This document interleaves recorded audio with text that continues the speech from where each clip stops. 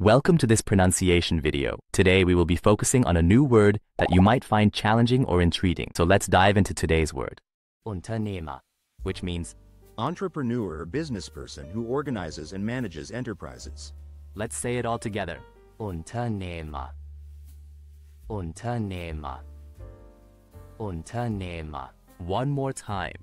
Unternehmer. Unternehmer. Unternehmer. Thank you for joining us on this adventure in pronunciation. Remember, language is a journey, not a destination. Keep exploring, experimenting, and expanding your linguistic horizons. We'll see you next time.